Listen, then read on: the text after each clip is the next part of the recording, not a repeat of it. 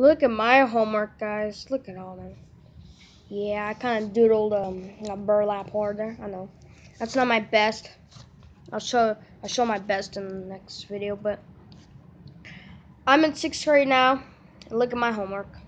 This is my math thing. This is the rest of my homework. I finished three parts. Now I'm, I have to do one through twelve.